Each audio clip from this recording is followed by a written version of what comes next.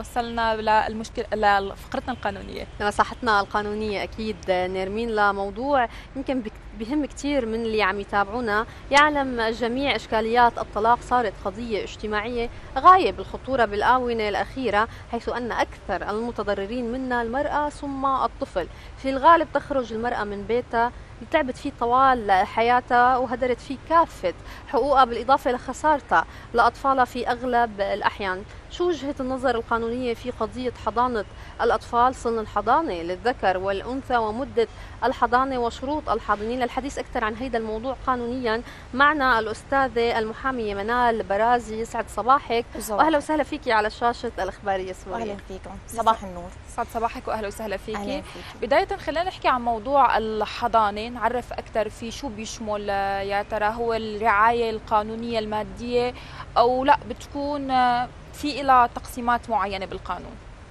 هلا هي الحضانة بتكون من حق الأب والأم سواء أثناء الزوجية أو بعد الطلاق.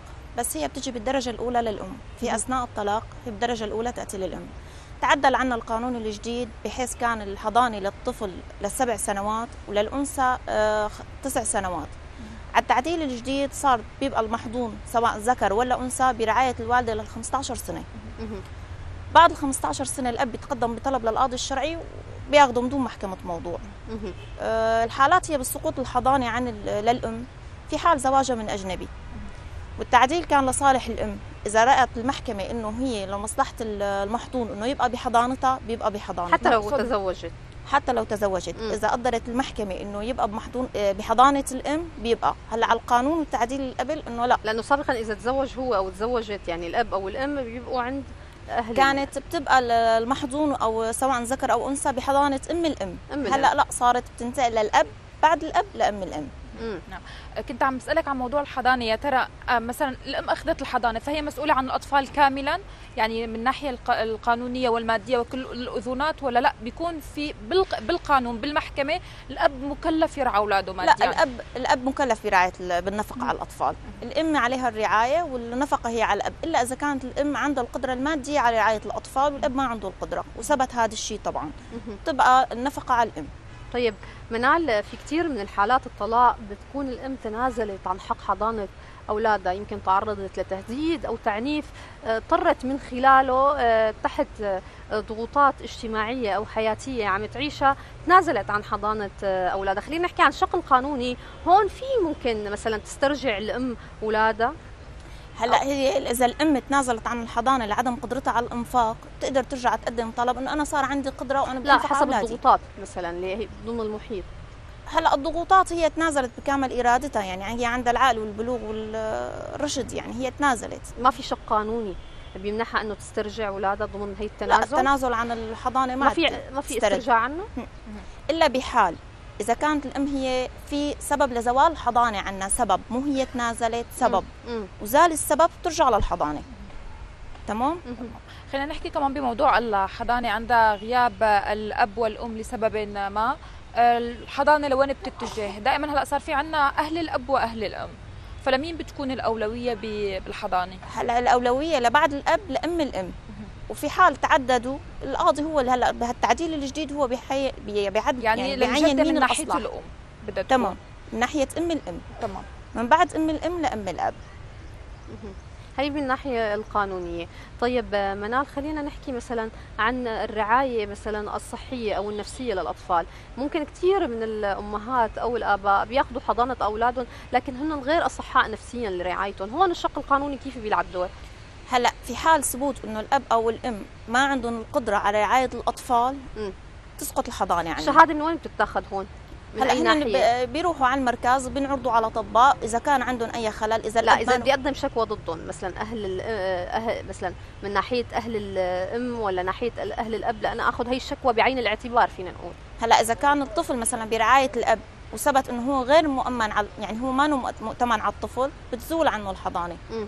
تمام؟ وبيتقدم هذا الشيء لعند القاضي الشرعي. بيعرضوا له لجنة إنه هو آه، يعني هو غير مؤتمن على الطفل آه، ظروفه غير آه، ما له قادر على الإنفاق. أو تعرض لتعنيف طبعا. هلأ أو الاب إذا بدها تكون الأنثى عنده برعايته لازم يكون عنده نساء. والنساء بتتفضل إنه تكون من ذوي الرحم المحرم إذا كانت أنثى. مم. إذا ما عنده هذا الشيء بتزول عنه الحضانة. طيب إذا الطفل تعرض لتعنيف فيه هو يقدم شكوى أو يحكي؟ إيه طبعا بتقدم في هذا شكوى وبحال إنه ثبت إنه الأب أو الأم عم تعرضه للتعنيف أو التعذيب بيسقط عنه حق الحضانة. مم. استاذه منال بدنا نحكي كمان عن موضوع آه، ال- خلال فترة الحضانة آه، لسبب ما الطفل ما مرتاح. آه، يعني الأم متزوجة والأب متزوج وما مرتاح.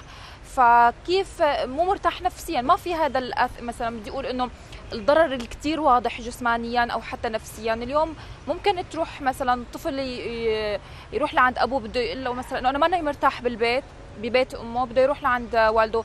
بيكون ال- القانون تارك يمكن هيك نقول ما بدي أسميها ثغرات ولكن منافذ إنه الانتقال للحضانه بعد قبل قبل ال 15 سنة. هلا على التعديل القانوني الجديد صار في شيء اسمه التقدير المحكمي. هي المحكمة وين بتقدر مصلحة المحظوظ سواء ذكر ولا أنثى هي اللي بت... يعني صار لها حرية صار لها سلطة تقديرية. بالأول إنه لا ما كان في قبل التعديل. هلأ التعديل هذا الجديد أنا برأيي هو أنصف كثير الزوجة صحيح. أو الأم بشكل عام. يعني ما عدا هي عانت بقى هالمعاناة كثير هي لا تح- تحس حالها على محضونه أو إنه تتعذب فيه لا. هلأ صارت تامن له الرعاية. إذا اما إذا شافت الأب عنده الطفل ما نو قدران يأمن له المعيشة آه، ما نو قدران ما نو مؤتمن على الطفل أو رعايته بتقدر هي بكل بساطة تقدم طلب وتاخذ المحضون لصالحها. طيب منال لما يبلغ الطفل سن الرشد هل يحق له اختيار مكان إقامته أو الرعاية تبعيته إن كان عند الأم أو الأب؟ هلا متى ما صار هو الطفل بسن 18 هو له حرية الاختيار خلص هو انتقل من سن الحضانة مم. قطع هو صار بسن الرشد. يعني إحنا نحاول نسألك جميع الأسئلة اللي بتخطر على بال جميع وسهلا. المشاهدين من خلال الشق القانوني عرفتي. كيف؟ هلأ بالحالات في يعني إحنا عندنا حالات سقوط الحضانة هلأ هي قبل التعديل هي ما كان عندنا إياها هلأ ما كان في شيء اسمه نحن عندنا حالات سقوط الحضانة على صحيح. التعديل كانت بس بحالة تزوجت الأم تنتقل الحضانة منا لأم الأم مم. هلأ على القانون والتعديل الجديد صارت بتنتقل من الأم للأب مهم. بعد الأب إذا ما كان موجود هي فبقى بتنتقل لأم الأم. هلا بموضوع بسؤالنا الأخير رح نحكي عن الفترة الزمنية للقضيه اللي بدها تكون لانتقال الحضانة أو سقوطها. بتاخذ كثير وقت وإجراءات معقدة ولا لا؟ صار بموضوع المحاكم هو موضوع إجراء روتيني. ما بياخذ كثير وقت. هلا لا هو بتقدم بطلب بغض النظر نحن عن محكمة الموضوع إذا رأى القاضي إنه مصلحة المحظوظ سواء هون ولا يعني سواء مع الأب ولا مع الأم بيعطيهم الموافقة من دون تعرض للموضوع. يعني هلا إحنا بالأول والأخير يعني مصلحة القانون هي مصلحة الطفل المحظوظ مهم. إنه هو يكون عم يتربى صح عم ياخذ الرعاية الصح متأمل له المسكن متأمل له النفقة يعني هي والأول والأخير إنه رعايه المحظوظ الاستاذه المحاميه منال برازي بنتشكرك على وجودك. معنا شكرا كثير شكرا. لك يعطيكم العافية شكرا كثير لك